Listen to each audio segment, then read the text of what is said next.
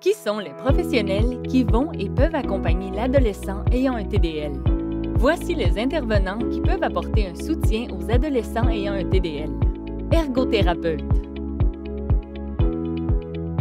Aide les personnes à organiser et réaliser des activités importantes pour elles. Il favorise ainsi l'autonomie et l'intégration communautaire. Orthopédagogue évalue et intervient auprès des gens ayant des difficultés d'apprentissage scolaire, y compris les troubles d'apprentissage. Neuropsychologue clinicien se spécialise dans l'évaluation des fonctions cognitives et étudie les relations entre le cerveau et les comportements. Pour l'évaluation des troubles neuropsychologiques, il utilise notamment des tests psychométriques. Consultez notre guide Portrait du TDL pour obtenir la liste complète.